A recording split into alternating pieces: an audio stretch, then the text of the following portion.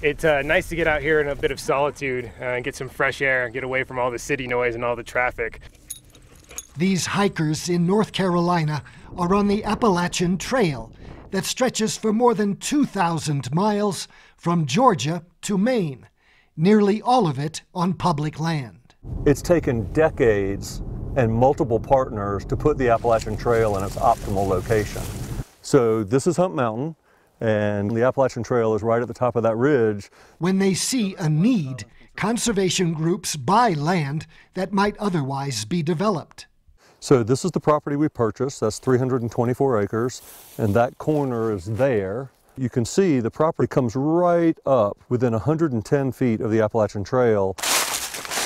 Conservation groups and local and state governments have been able to do this because the money they need to buy land for public ownership and recreational access has been provided by the Land and Water Conservation Fund using royalties from offshore oil and gas leasing.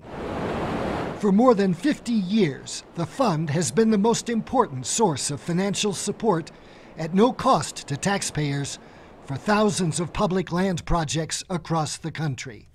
Until now.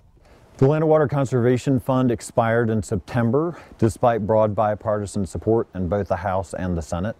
Conservationists are campaigning to persuade Congress to fully fund and permanently reauthorize the program. Without the Land and Water Conservation Fund, many places that we enjoy would not exist, including much of the Appalachian Trail.